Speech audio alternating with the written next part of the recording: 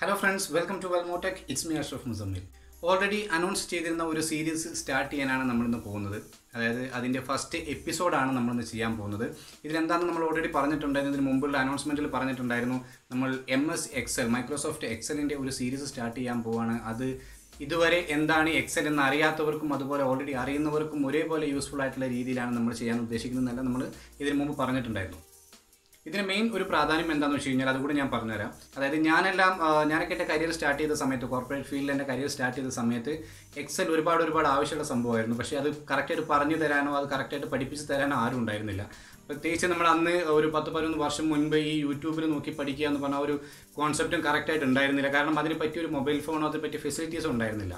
ഇന്ന് പക്ഷേ അങ്ങനെയല്ല. നമുക്കതിനുള്ള ഫെസിലിറ്റീസ് അവൈലബിൾ ആണ്. ആർക്കെങ്കിലും അറിയില്ലെങ്കിൽ നമുക്കത് ചെക്ക് ചെയ്ത് നോക്കാനും ചെക്ക് ചെയ്ത് നോക്കി കറക്റ്റ് ആയിട്ടുള്ള അതിന്റെ റിസൾട്ട് അവൈലബിൾ ആണ് ഇപ്പോൾ. അതാണ് നമ്മൾ ഇപ്പോൾ ഈ ഒരു സീരീസ് മെയിനായിട്ട് സ്റ്റാർട്ട് ചെയ്യാനുള്ള കാരണം. കാരണം എം എസ് എക്സൽ എന്ന് പറഞ്ഞു കഴിഞ്ഞാൽ ഓൾറെഡി ഒരു ജോലി ചെയ്തുകൊണ്ടിരിക്കുന്ന ആളുകൾക്ക് മാത്രമല്ല ജസ്റ്റ് കോഴ്സ് കംപ്ലീറ്റ് ചെയ്ത് ജോലി അന്വേഷിക്കുന്നവർക്കും എല്ലാം ഒരേപോലെ ഉപയോഗപ്പെടുന്നതാണ് സ്റ്റുഡൻസിനും ഒരുപോലെ ഉപയോഗപ്പെടുന്നതാണ്. കാരണം നമുക്കറിയാം ഇനി വരാൻ പോകുന്ന ദിവസങ്ങളിൽ ഒരു കമ്പനീസും ഏതൊരു മേഖലയിലായാലും ശരി ഒരു കമ്പനീസും ജസ്റ്റ് ഒരു പരീക്ഷണാടിസ്ഥാനത്തിൽ ഒരു എംപ്ലോയിയും റിക്രൂട്ട് ചെയ്യാൻ പോകുന്നില്ല. കാരണം നമുക്കറിയാം എല്ലാ മേഖലയിലും മാക്സിമം ഡാമേജ് ഓൾറെഡി വന്നിട്ടുണ്ട്. പല കമ്പനീസ് ഷട്ട് ഡൗൺ ചെയ്തു. പല കമ്പനീസും ഭാഗികമായി ക്ലോസ് ചെയ്തതിനു ശേഷം വീണ്ടും അവർ റീസ്റ്റാർട്ട് ചെയ്തിട്ടുണ്ട്. സോ അപ്പോൾ അവർക്കൊക്കെ ഫിനാൻഷ്യൽ പ്രോബ്ലംസ് ഉണ്ടാവുന്നത് കൊണ്ട് ഒരു പരീക്ഷണാടിസ്ഥാനത്തിൽ ഒരു എംപ്ലോയീസിനെയും അവർ ഇനി റിക്രൂട്ട് ചെയ്യാൻ സാധ്യതയില്ല. മാക്സിമം സ്കിൽഡ് ആയിട്ടുള്ള ആളുകളെയാണ് ഇനി ഓരോ കമ്പനിയും നോക്കുക. സോ ആ ഒരു സമയത്ത് നമുക്ക് ഏതൊരു ഡൊമൈൻ ആയാലും ശരി ഡേറ്റ റിലേറ്റഡ് ആയിട്ടുള്ള വർക്കാണ് നമ്മൾ ചെയ്യുന്നതെങ്കിൽ അവിടെ എം എസ് എക്സൽ അത്യാവശ്യമാണ്. അത് അറിഞ്ഞിരിക്കലും അത്യാവശ്യമാണ്. സോ അതിനായിട്ട് നാളെ നിങ്ങളുടെ ഒരു ഇന്റർവ്യൂവിന് പോകുന്ന സമയത്ത് എക്സൽ റിലേറ്റഡ് ആയിട്ടുള്ള ഒരു ക്വസ്റ്റ്യൻ വരുമ്പോൾ നിങ്ങൾക്ക് അതിലൊരു ബുദ്ധിമുട്ട് വരാതിരിക്കാനും അതുകൊണ്ട് ആ ഒരു നെഗറ്റീവ് കാരണം നിങ്ങൾക്ക് ആ ഒരു ജോലി സാധ്യത നഷ്ടപ്പെടാതിരിക്കാനും കൂടെ വേണ്ടിയിട്ടാണ് നമ്മളിത് പ്ലാൻ ചെയ്ത് സ്റ്റാർട്ട് ചെയ്തിട്ടുള്ളത്. സോ മുഴുവനായിട്ട് കാണുക എല്ലാ എപ്പിസോഡുകളും കാണുക ഒരു ബേസിക്കിൽ നിന്ന് സ്റ്റാർട്ട് ചെയ്ത ഒരു എക്സ്പേർട്ട് ലെവലിലേക്കാണ് നമ്മൾ പ്ലാൻ ചെയ്യുന്നത്. ഓൾറെഡി എക്സലുമായി ബന്ധപ്പെട്ട് ഒരു പത്ത് വർഷം വർക്ക് ചെയ്ത എക്സ്പീരിയൻസ് എനിക്കുണ്ട്. എന്റെ എക്സ്പീരിയൻസ് വെച്ചുള്ള നോളജാണ് ഞാൻ നിങ്ങൾക്ക് ഷെയർ ചെയ്യാൻ പോകുന്നത്. സോ എല്ലാ എപ്പിസോഡും മുഴുവനായിട്ട് കാണുക. അതുപോലെ എല്ലാ വീഡിയോസും മുഴുവനായിട്ട് കാണുക. മുഴുവനായിട്ട് കണ്ടതിന് ശേഷം നിങ്ങൾ ഓരോന്നും പ്രാക്ടീസ് ചെയ്ത് നോക്കുക. അപ്പോഴാണ് കറക്റ്റായിട്ട് നമുക്കത് പഠിക്കാൻ പറ്റുന്നത്. അതുപോലെ നിങ്ങളുടെ ഫീഡ്ബാക്കും അറിയിക്കുക. എന്തെങ്കിലും ഡിഫിക്കൽട്ടീസ് ഉണ്ടെങ്കിൽ എന്തെങ്കിലും മനസ്സിലാക്കാൻ ബുദ്ധിമുട്ടുണ്ടെങ്കിൽ കമന്റ് ബോക്സിൽ അറിയിക്കുക. അതിനനുസരിച്ച് വരുന്ന എപ്പിസോഡുകളിൽ ചേഞ്ചസ് വരുത്തുന്നതാണ് ഓക്കെ സോ അപ്പോൾ നമുക്ക് സമയം കളയാതെ ട്യൂട്ടോറിയലിലേക്ക് പോകാം അതിൽ മെയിനായിട്ട് ഇന്ന് നമ്മൾ പഠിക്കാൻ പോകുന്ന കാര്യം എന്താണെന്ന് വെച്ച് കഴിഞ്ഞാൽ എന്താണ് എക്സൽ എം എസ് എക്സൽ എന്താണ് അതുപോലെ മൈക്രോസോഫ്റ്റ് എക്സൽ നമ്മൾ എന്തിനെല്ലാം ഉപയോഗിക്കുന്നുണ്ട് അതുപോലെ അതിന്റെ ബേസിക് ഫങ്ഷൻസ് എന്തൊക്കെയാണെന്നാണ് ഞാൻ നിങ്ങൾക്ക് പരിചയപ്പെടുത്താൻ പോകുന്നതെന്ന് ഓക്കെ സോ വീഡിയോയിലേക്ക് പോവാം. ഓക്കെ അപ്പോൾ നമുക്ക് സ്റ്റാർട്ട് ചെയ്യാം. നിങ്ങളിപ്പോൾ കണ്ടുകൊണ്ടിരിക്കുന്നത് എന്റെ സിസ്റ്റത്തിന്റെ സ്ക്രീനാണ് സോ ഇതിൽ ഓൾറെഡി എക്സൽ വർക്ക് ഷീറ്റ്സ് ഞാൻ ഓപ്പൺ ചെയ്ത് വെച്ചിട്ടുണ്ട്. പക്ഷേ എന്നാലും അത് എടുക്കുന്നില്ല. നമുക്ക് ഒരു പുതിയ ഷീറ്റ് ഓപ്പൺ ചെയ്യാം. റൈറ്റ് ക്ലിക്ക് ചെയ്തിട്ട് ന്യൂ സെലക്ട് ചെയ്ത് അതിൽ മൈക്രോസോഫ്റ്റ് എക്സൽ വർക്ക് ഷീറ്റ് ഇത് നമുക്ക് സെലക്ട് ചെയ്യാം. അത് സെലക്ട് ചെയ്ത് കഴിഞ്ഞാൽ ഒരു പുതിയ ഷീറ്റ് നമുക്ക് അവൈലബിൾ ആവും. ഡബിൾ ക്ലിക്ക് ചെയ്ത് അതൊന്ന് ഓപ്പൺ ചെയ്യാം. ഓക്കെ സോ ഇതാണ് മൈക്രോസോഫ്റ്റ് എക്സലിന്റെ അക ഉൾവശം എന്ന് പറയാം. നിങ്ങൾ അത് ഓപ്പൺ ചെയ്ത് കഴിഞ്ഞാൽ കാണാൻ സാധിക്കുന്നത് ഇങ്ങനെയായിരിക്കും ഇതിൽ നമുക്ക് ഒരുപാട് ടാബും കാര്യങ്ങളും ഫംഗ്ഷൻസ് ഒക്കെ നിങ്ങൾ കാണാൻ പറ്റും. ഓക്കെ ഓരോ സൈഡിലായിട്ട് ഓരോന്നുണ്ട്. ഇതൊക്കെ നമുക്ക് ഡീറ്റെയിൽ ആയിട്ട് ഓരോന്നോരോന്ന് ഡിസ്കസ് ചെയ്യാം. അതിന് മുമ്പ് ജസ്റ്റ് ഒരു ഓവർവ്യൂ ഞാൻ തരാം. അതായത് എന്താണ് മൈക്രോസോഫ്റ്റ് എക്സൽ അല്ലെങ്കിൽ മൈക്രോസോഫ്റ്റ് എക്സൽ നമ്മൾ എന്തിനാണ് ഉപയോഗിക്കുന്നത്. മൈക്രോസോഫ്റ്റ് എക്സൽ എന്ന് പറയുന്ന ഒരു സ്പ്രെഡ്ഷീറ്റ് ആണ്. അത് ഡെവലപ്പ് ചെയ്തത് മൈക്രോസോഫ്റ്റ് ആണ്. ഓക്കെ മൈക്രോസോഫ്റ്റ് വിൻഡോസിന് വേണ്ടിയിട്ടാണ് സ്റ്റാർട്ട് ചെയ്തത്. പിന്നെ ഇപ്പോൾ നമുക്ക് നിലവിൽ അത് വിൻഡോസ് അല്ലെങ്കിൽ Mac O S Android I O S ഈ ഓപ്പറേറ്റിംഗ് സിസ്റ്റംസിനെല്ലാം ഇപ്പോൾ സപ്പോർട്ട് ചെയ്യുന്ന രീതിയിൽ അവൈലബിൾ ആണ്. പിന്നെ നോർമലി ഇത് സ്റ്റാർട്ട് ചെയ്തിട്ടുള്ളത് ആയിരത്തി തൊള്ളായിരത്തി എൺപത്തി ഏഴിലാണ് ഫസ്റ്റ് വേർഷൻ അവർ സ്റ്റാർട്ട് ചെയ്തിട്ടുള്ളത്. അത് സ്റ്റാർട്ട് ചെയ്തതിനു ശേഷം ഒരുപാട് ഒരുപാട് വേർഷൻസ് വന്നിട്ടുണ്ട്. സോ ഇതാണ് ജസ്റ്റ് ഒരു എന്താണ് അതിനെ കുറിച്ചുള്ള ഒരു അബൌട്ട് ഇൻഫോ പിന്നെ ഇതിൽ ചെയ്യാൻ പറ്റുന്ന കാര്യങ്ങൾ എന്താണെന്ന് വെച്ച് കഴിഞ്ഞാൽ എക്സലിൽ നോർമലി ഡേറ്റ റിലേറ്റഡ് ആയിട്ട് വർക്ക് ചെയ്യുന്ന ഒരാൾക്ക് ചെയ്യാൻ ഒരുപാട് ഒരുപാട് കാര്യങ്ങൾ ഉണ്ട്. അതായത് ഇപ്പോൾ നമ്മുടെ യേശുദാസ് സംഗീതത്തിനെ കുറിച്ച് പറയുന്നത് പോലെയാണ്. സംഗീതം ഒരു സാഗരമാണെന്ന് അദ്ദേഹം പറയാറുണ്ട്. നമ്മൾ എത്ര പഠിച്ചാലും കംപ്ലീറ്റ് ആവില്ല. വീണ്ടും വീണ്ടും പുതിയ പുതിയ കാര്യങ്ങളാണെന്ന് എന്നെ സംബന്ധിച്ചും അതുപോലെയാണ് മൈക്രോസോഫ്റ്റ് എക്സൽ എന്ന് പറയുന്നത്. കാരണം നമ്മളത് ഉള്ളിലേക്ക് പോകുന്തോറും പഠിക്കാൻ ഒരുപാട് ഒരുപാട് കാര്യങ്ങളാണ്. ഡേറ്റ റിലേറ്റഡ് ആയിട്ട് വർക്ക് ചെയ്യുന്ന ഒരാൾക്ക് അതിൽ ചെയ്യാൻ ഒരുപാട് സംഭവങ്ങളുണ്ട്. അത് എത്ര പഠിച്ചാലും തീരാത്തൊരവസ്ഥയാണ്. ഓക്കെ പക്ഷേ നമ്മൾ ഓരോന്നും സമയമെടുത്ത് കറക്റ്റായിട്ട് പ്രാക്ടീസ് ചെയ്ത് പഠിക്കണം. മെയിനായിട്ട് ശ്രദ്ധിച്ചാൽ പ്രാക്ടീസ് ചെയ്ത് പഠിക്കണം. അപ്പം മാത്രമേ നമുക്ക് മനസ്സിലാവുള്ളൂ. ഒരു തിയറി ക്ലാസ്സിൽ അറ്റൻഡ് ചെയ്തത് കൊണ്ട് ഒരിക്കലും മൈക്രോസോഫ്റ്റ് എക്സലോ അതിന്റെ ഫംഗ്ഷൻസോ പഠിക്കാൻ സാധിക്കില്ല. നമ്മൾ എന്താണോ പഠിക്കുന്ന ആ സംഭവങ്ങൾ നമ്മൾ വീണ്ടും സ്വന്തമായിട്ട് ശ്രമിച്ചു നോക്കണം. പ്രാക്ടീസ് ചെയ്യണം. പ്രാക്ടീസ് മേക്സ് മാൻ പെർഫെക്റ്റ് എന്നാണ് പറയാറുള്ളത്.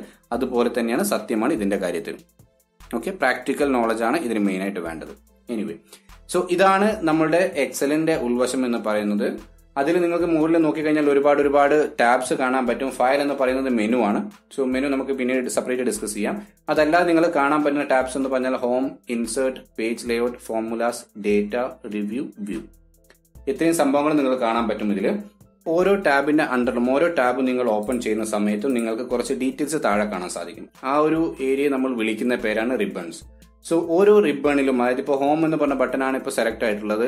ബൈ ഡിഫോൾട്ട് അതാണ് നമ്മൾ ഓപ്പൺ ചെയ്യുമ്പോൾ സെലക്ട് ആവുക. അതിന് അണ്ടറിലുള്ള റിബൺ ആണ് നിങ്ങൾ കാണുന്നത്. ഈ റിബണിൽ പല പല ഗ്രൂപ്പുകൾ ഉണ്ടാവും ഫോർ എക്സാമ്പിൾ നിങ്ങൾ ഇപ്പോൾ നോക്കുകയാണെങ്കിൽ ക്ലിപ്പ് ബോർഡ് എന്ന് പറയുന്ന ഒരു ഗ്രൂപ്പാണിത്.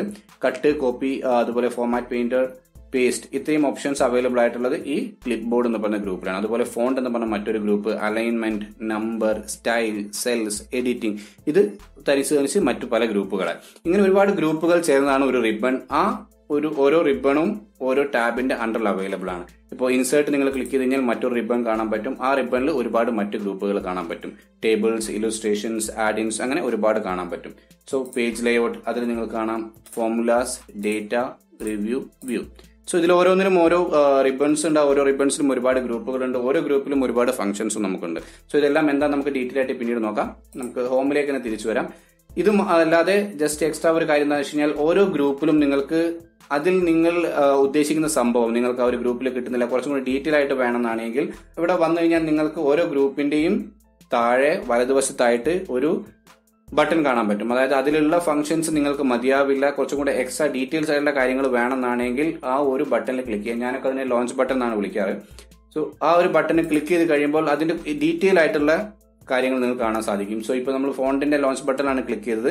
അപ്പോൾ നമുക്ക് കാണാൻ സാധിക്കുന്നതാണ് numbers alignment font border fill protection ഇങ്ങനെ ഒരുപാട് ഫംഗ്ഷൻസും അതിന് എങ്ങനെയാണ് അതിന്റെ കാര്യങ്ങൾ നമുക്ക് അവൈലബിൾ ആയിട്ടുള്ളതെന്നാണ് അതിൽ കാണിക്കുന്നത്. ഓക്കെ ഇനി നമുക്ക് നമ്മുടെ ക്യാൻവാസിനെ പരിചയപ്പെടുന്നത്. ക്യാൻവാസ് എന്നോ ടേബിൾ എന്നോ നിങ്ങൾക്ക് ഏതാണോ ഈസി ആയിട്ടുള്ളത് ആ രീതിയിൽ നിങ്ങൾക്ക് വിളിക്കാം.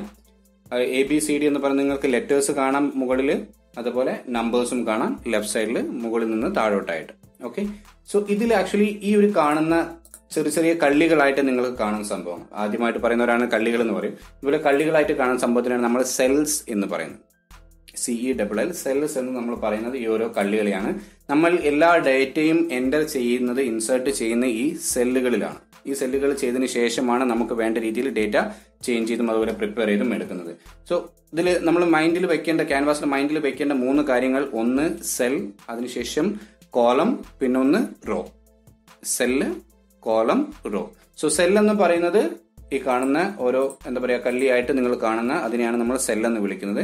പിന്നെ കോളം എന്ന് പറയുന്നത് നമുക്ക് മുകളിൽ കാണാം. അതായത് ഈ മുകളിൽ കാണുന്ന ഓരോ മുകളിൽ നിന്ന് താഴോട്ട് നോക്കുന്ന ആ ഒരു ഓപ്ഷൻ അതായത് A column B column C column D column E column എന്ന് പറഞ്ഞിട്ടാണ് കാണിക്കാറുള്ളത്. സോ ഇതിന്റെ ഇമ്പോർട്ടന്റ് ഞാൻ പറഞ്ഞുതരാം എന്താണെന്ന്. കാരണം നമ്മൾ സെല്ലിനെ കുറിച്ച് പറഞ്ഞു. ഈ ഓരോ സെല്ലിനും ഓരോ സെൽ അഡ്രസ് ഉണ്ട്. ആ സെല്ലിന്റെ അഡ്രസ്സ് നമുക്ക് മനസ്സിലാവണമെങ്കിൽ ആദ്യം എന്താണ് കോളം എന്നും എന്താണ് റോ എന്നും നമുക്ക് മനസ്സിലാവണം. ഓക്കെ സോ കോളം എന്ന് പറയുന്നത് നിങ്ങൾക്ക് ലെറ്റേഴ്സിൽ കൊടുത്തിട്ടുണ്ട്. A column B column C column അങ്ങനെ നിങ്ങൾക്ക് പോവുകയാണെങ്കിൽ നിങ്ങൾക്ക് എത്ര വേണമെങ്കിലും ഇൻസേർട്ട് ചെയ്യാം. പക്ഷേ ഇതിന് മാക്സിമം എക്സ് എഫ് ഡി വരെ അവൈലബിൾ ആണ്.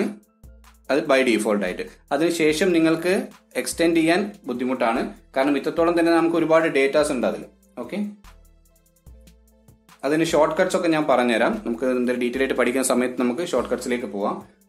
സോ കോളം എന്താണെന്ന് മനസ്സിലായിട്ടാണ് വിചാരിക്കുന്നു. പിന്നെ നെക്സ്റ്റ് എന്താണെന്ന് വെച്ചാൽ റോ റോസ് എന്ന് പറയുന്നത് നമ്മൾ ഇടതുവശത്ത് നിന്ന് വലതു ഭാഗത്തേക്ക് അതായത് ഈ നമ്പേഴ്സ് അതായത് row one row two row three row four അങ്ങനെ നമ്പേഴ്സിലാണ് നമ്മൾ റോസ് പറയുക. കോളംസ് നമ്മൾ ലെറ്റേഴ്സിലും റോസ് നമ്മൾ നമ്പേഴ്സിലുമാണ് പറയുക.